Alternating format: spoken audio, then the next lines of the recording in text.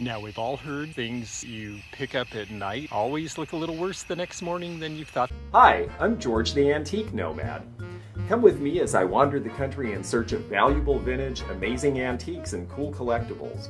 We'll buy, sell, and trade at antique malls, shops, and shows, estate sales, flea markets, thrift stores, anywhere people go to find really interesting things that just aren't made anymore. So come on, let's go!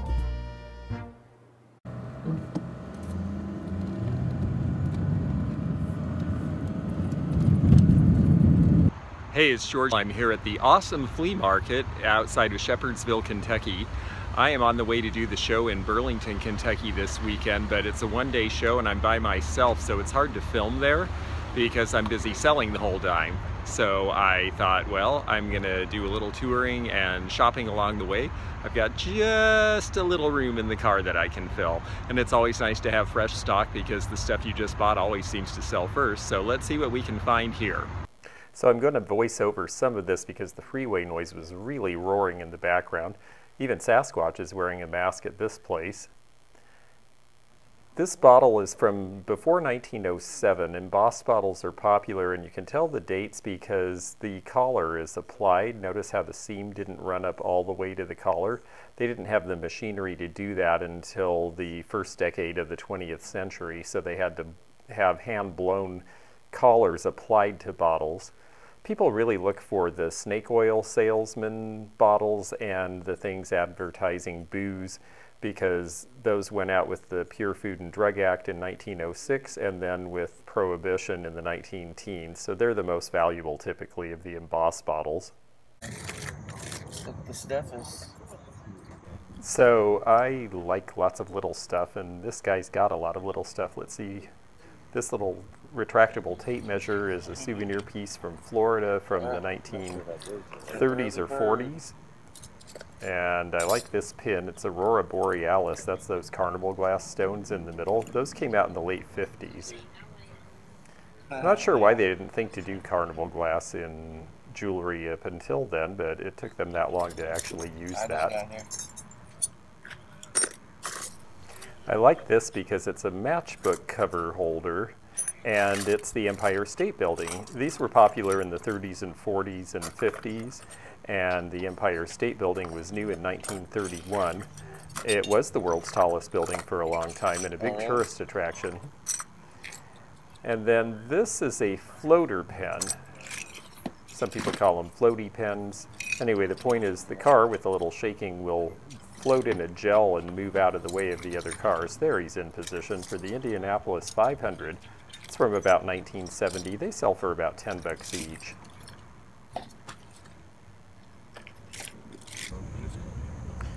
A Zip 1 lighter, nice ripoff. So I've got my little pile here from this guy and he said $30 on everything you're going to see here, which I think is a great deal. I like the Indian pipe, the float pen, a couple of little trucker pins, there's a nice compass, and a spoon from the Waldorf Astoria. And then he's got a bunch of pocket watches and knives and some more interesting stuff here.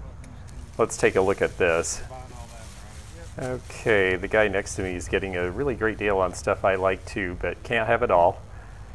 Bunch of badges. Oh, those wings for $5 each are pretty good and some neat Navajo jewelry. The onyx for 20 bucks is not a bad price. I see some neat sterling jewelry, $5 on that little concho. I think I have to have that.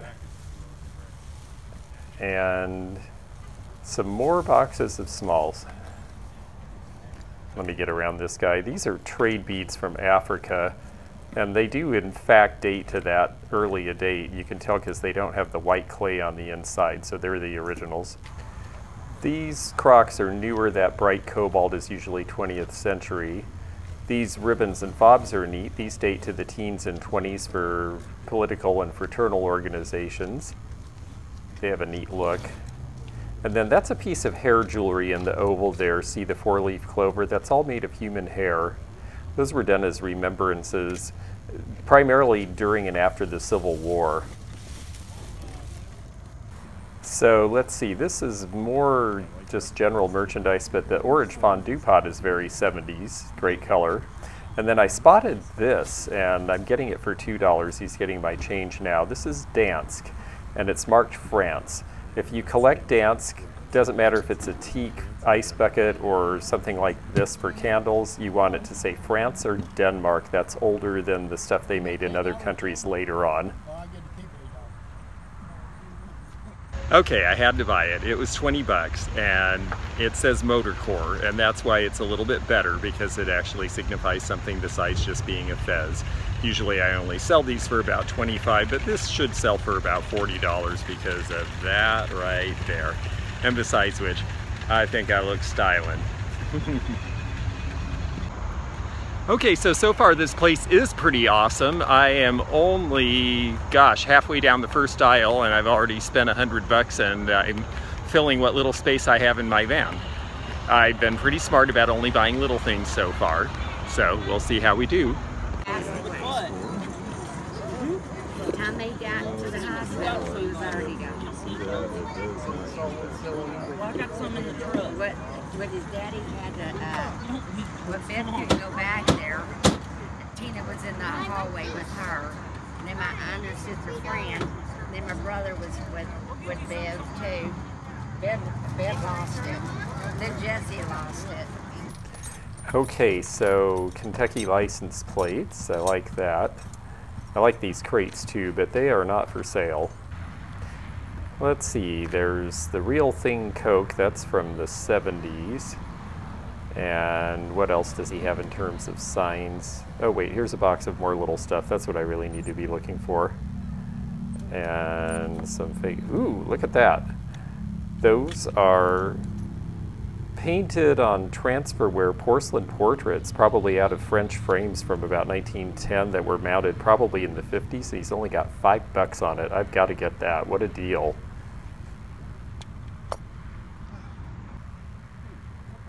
For your keys, you know, they have the tags on it. It'd be the room, like 140. Gotcha.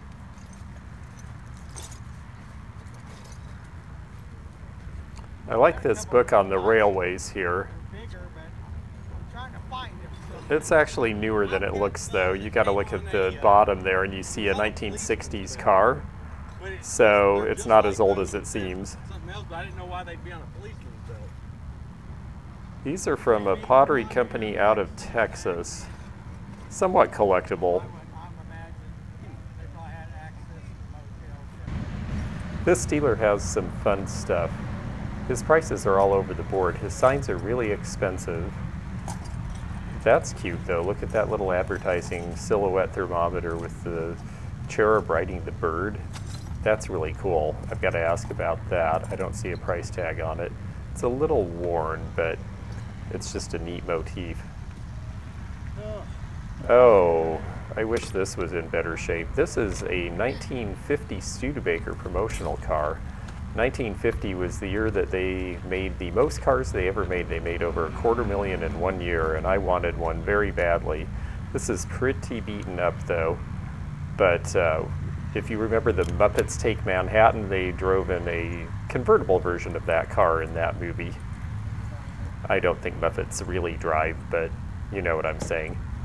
Some old metal toys here and tin toys, and the prices I see are all out of my reach.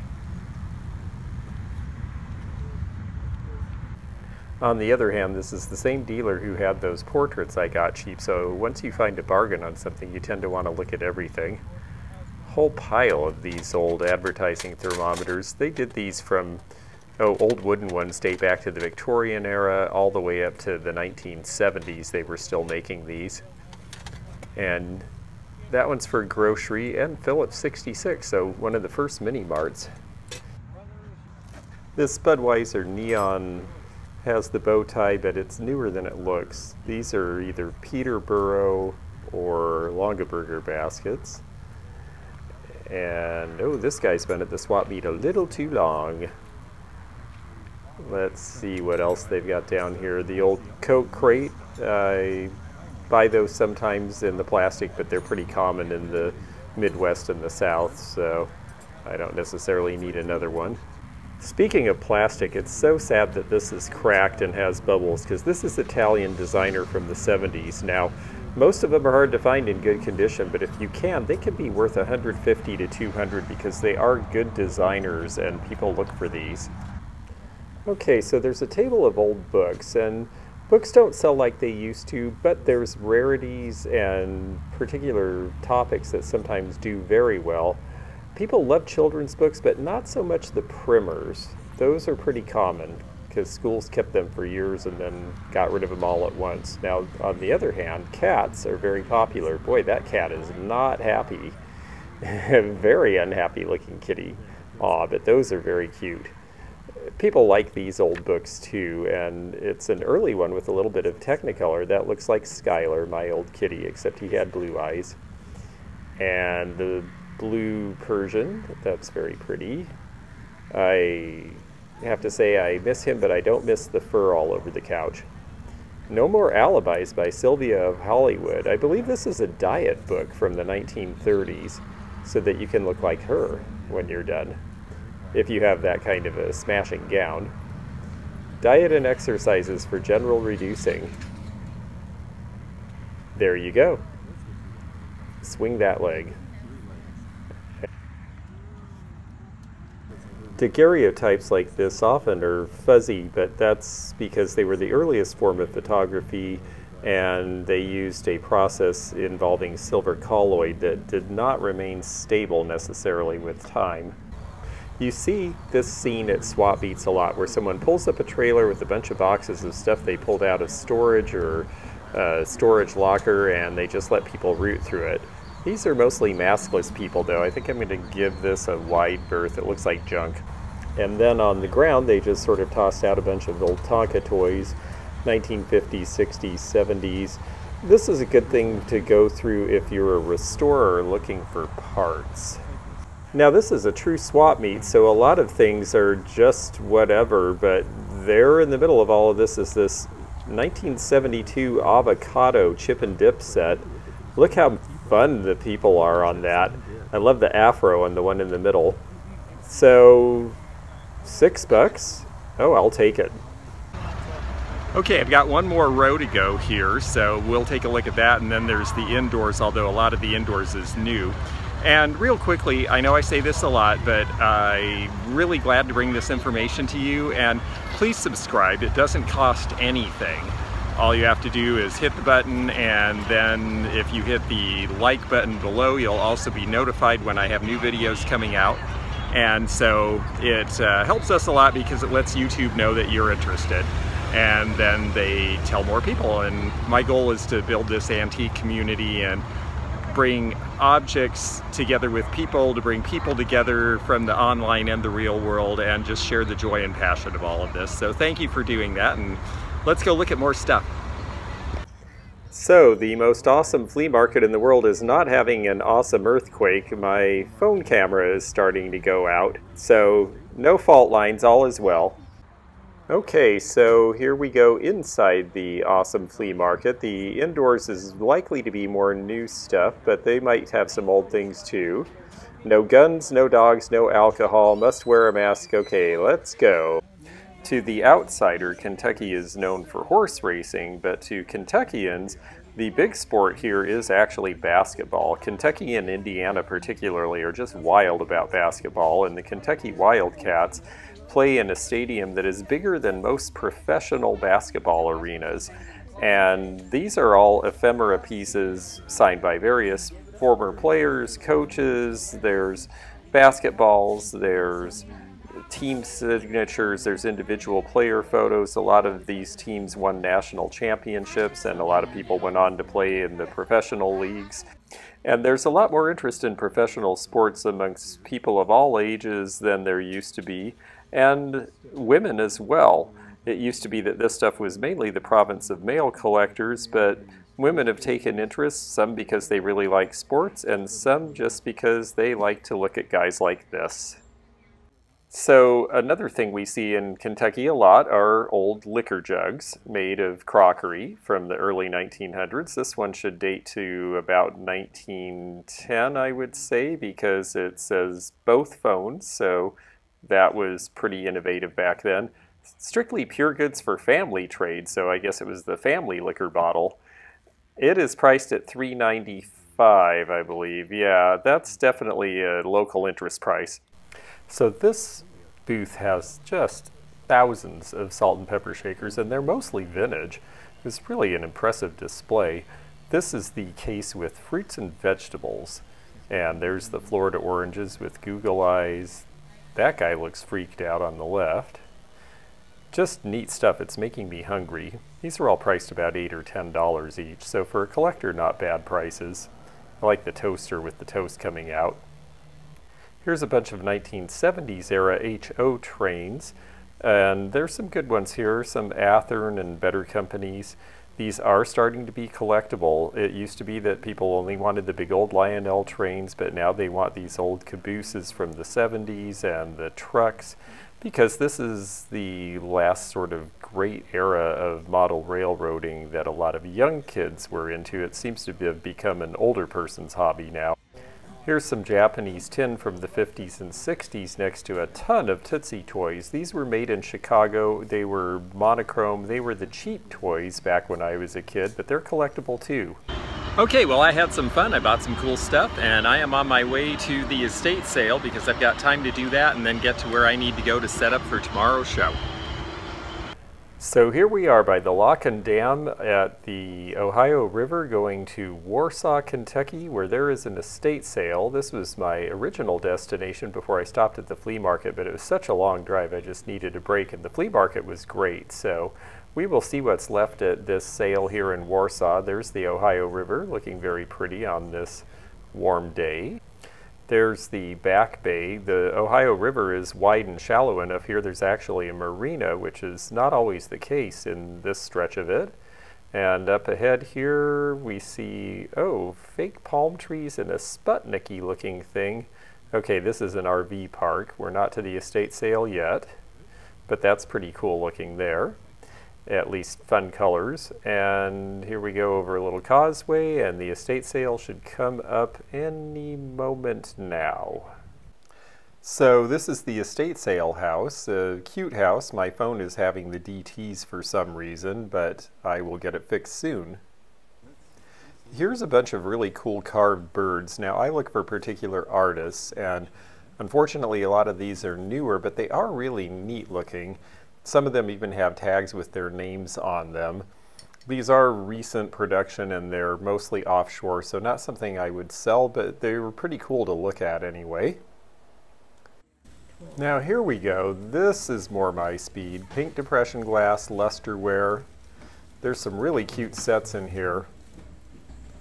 And we've got coffee grinders here in the kitchen, but these are all priced about $45 each, and that's what I get for them retail. So that doesn't really leave me very much room.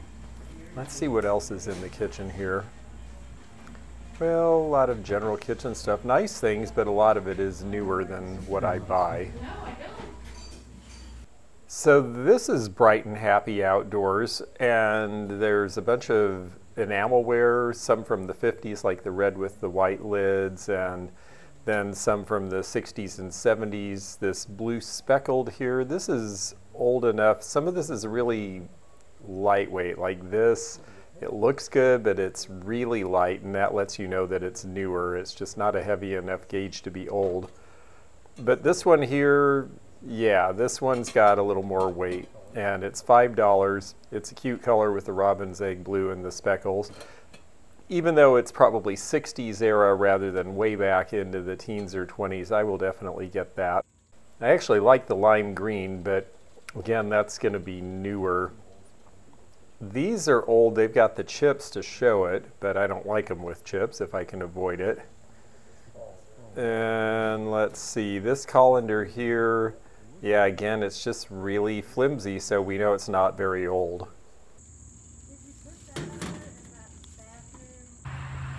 Okay, so I spent about $15 on some cute blue lusterware pieces from the 1930s. I thought of Misty from Thrifter Junker Vintage Hunter because she's collecting that stuff now. In the meantime, let's go into the barn and see what they've got there.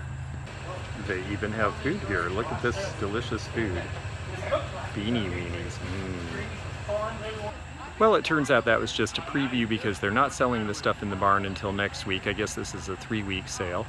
I have to be honest, I'm not sure why. There doesn't seem to be that much stuff in there, but everyone conducts their sales differently. So I am on my way to Burlington to set up for the antique show, unless some shiny object or garage sale attracts me on the way.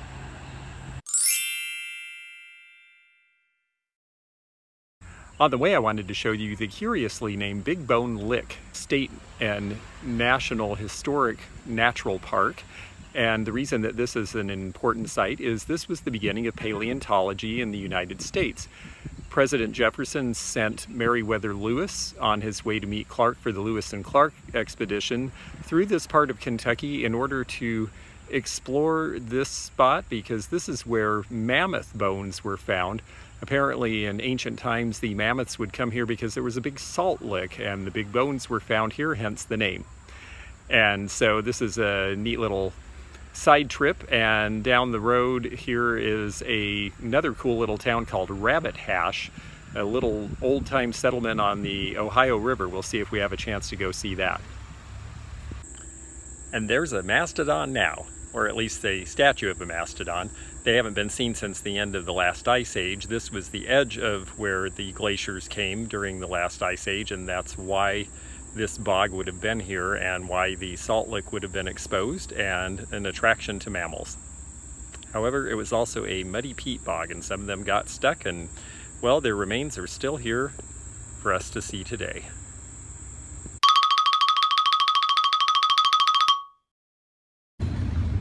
You'd never know it by this crowd behind me, but for a long time, Rabbit Hash was a forgotten little port on the Ohio River, a teeny tiny little settlement. It is now a National Historic District, and when I was here last time, I bought some pretty cool antiques. There were two shops. One was in the old general store. It was all full of really interesting collectibles, and unfortunately it burned a couple of years ago. But it was such an important place that they rebuilt it. So I'm curious to see if they rebuilt it with the other things or whether it does not have the antiques and vintage anymore. We'll go take a look.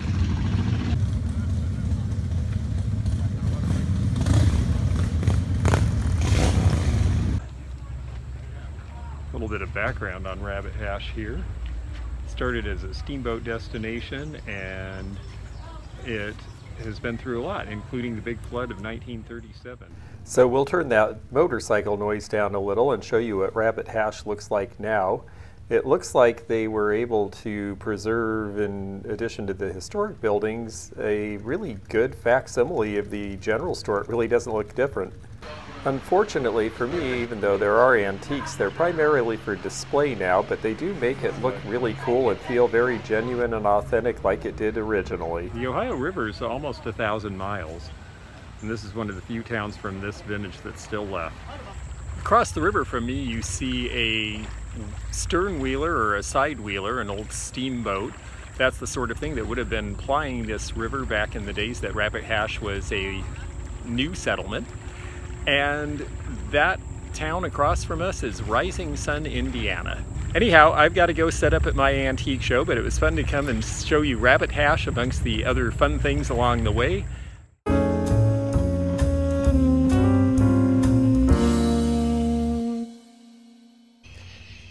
I'm going to try to be quiet because a lot of people are in bed but I'm going to prowl around and see if anyone else is still setting up. I got my tent up and everything out, and I am ready for tomorrow.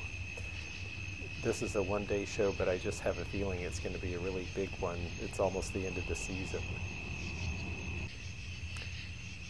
So, looking down, we can see some things in the dark. It'll be interesting to see what I can show you and what will actually be able to record. This is extreme night shopping. There's something cool, the old jewel. Looks like it's all fixed up.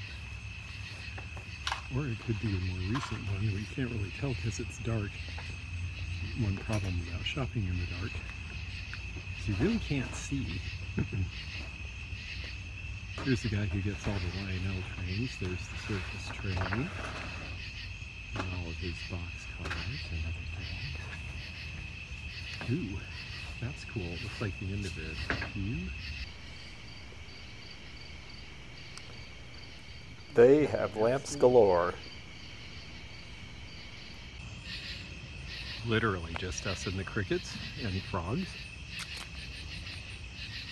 These folks have some of their stuff out. I think I'm the only person who's completely set up. I guess I'm a glutton for punishment.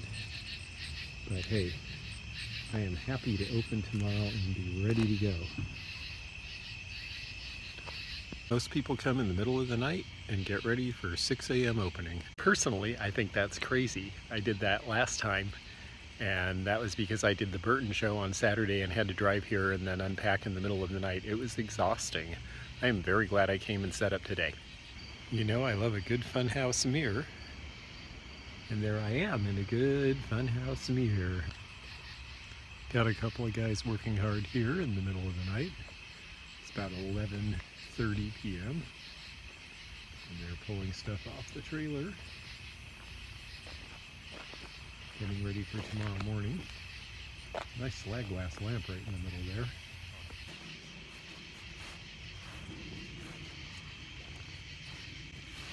That is a pink cattail lamp. I love those right out of the 50s. My neighbors mainly brought some primitives and farmstead stuff. This is their first time at the show.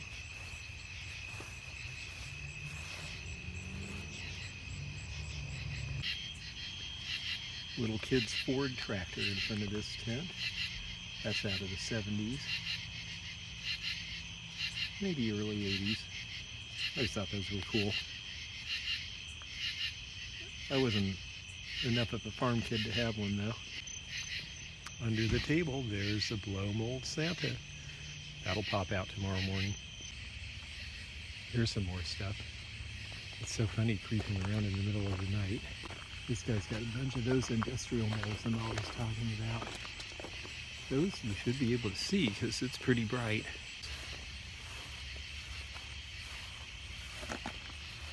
Got buckets full of them over here. Here's a space we can see too. They've got a bunch of ladders put together. You can make shelves out of ladders like they're kind of doing there. Also an old cast iron bed. Ooh, I see a neat little dental or medical office thing, but let's look at these ladders first. If you put rails between those, you'd have to turn it around where that buttress on the one is facing the other way, but you can line ladders up and put shelves between them. A lot of people are doing that in farm stores, places that are doing primitives and rustic stuff. But this dealer also has, if you look over there past the bed, some really groovy orange chairs. I'm gonna take a look at those real quick. Too bad there's only three. And then this thing here, which is some sort of a medical device. I love the shape of the table and the drawers are really great. I'm not sure how you'd use it with all of that laboratory equipment on it, but it's pretty cool. And then a Standard of Ohio garbage can. I lost a lot of money on Standard of Ohio stock at one point in my life. Well, since I'm creeping around in the middle of the night, I guess it's appropriate that there are skeletons. A bunch of milk glass over here. Looks like mainly Westmoreland patterns. And a little bit of Fenton. I won't go in there because it's the middle of the night, but there's a lamp similar to the one I just bought.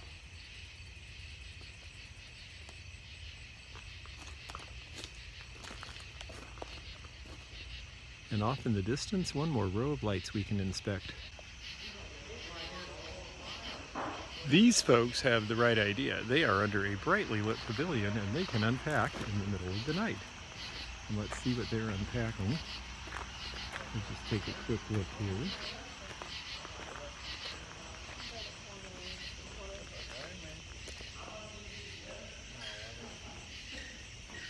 prints and glassware and that's going to be a fun display and the nice thing is they're under cover so if we have bad weather they're all right and those folks down there are setting up too.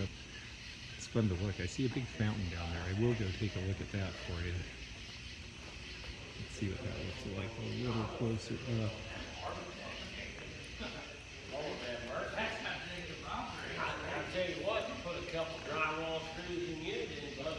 Wow look at that. Looks like it's cast iron or metal of some sort with the birds at the base.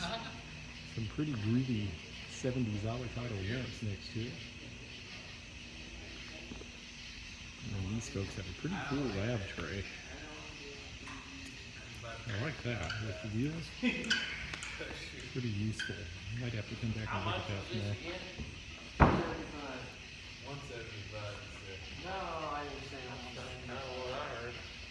crock and a half. Put on it, oh, I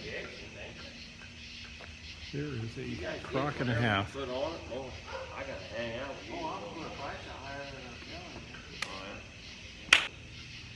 you. Neat old hook rug there too. That's a nice big one. Room size. Last booth, which is over here for Midnight Madness. They're not here, so I can't buy anything, but I see a brass bed. I see some newer Christmas and an old cap over Monty flower figure in here. Right in the middle. And when we look back there, there's all sorts of furniture and little lamps and uh, bust of a woman in a bonnet. So we shall see in the morning what this looks like. Now we've all heard that things that you pick up at night when it's dark and late always look a little worse the next morning than you thought they did in the benefit of the shadows. However, I'm pretty happy that I got this lamp. It's about midnight. We have to get up at 6 for the early buyers, so I'm going to go to bed. But I think this lamp's really cool. It does have a little corrosion, but it's right out of the 50s. You don't see these cattails like you used to. And the pink and green is a really good color combination. The main important thing is the switch works, the plug is good, and the pink fiberglass shades are in great shape. And I expect this will be a winner in Florida. I paid 30 bucks. I expect it'll sell for 65 to 85. And I'm happy and content and ready to go to bed. So thanks for joining me. This is George the Antique Nomad. Every day on Periscope. Well, not every day on Periscope. Lots of times on Periscope and every day on Instagram, Twitter, Facebook, and here Mondays and Wednesdays on YouTube. So we'll see you soon. Bye bye now.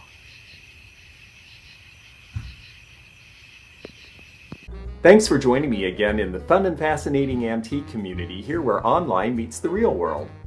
Please click the subscribe button below, click the bell to be notified when new videos upload, leave a comment below, and hit thumbs up to like this video. Links to our online social media daily posts and our items for sale are in the description. This is George at the Antique Nomad. Bye for now.